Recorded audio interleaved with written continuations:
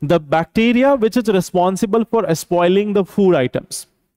They will not have a higher rate of respiration in that much lower temperature.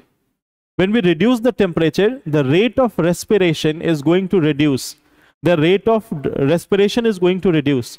So they will not be able to use that food item. Yeah. it's not that if you keep something in fridge or they will be like for eternity. If you're like keeping your pulses in the refrigerator also. After one week you cannot consume it. After one week it will be spoiled. But for the one or two days it will not get spoiled easily. Why? Because the rate of respiration has come down. Suppose you are keeping some fruits or some vegetables in the fridge. Can you save it for 180 days?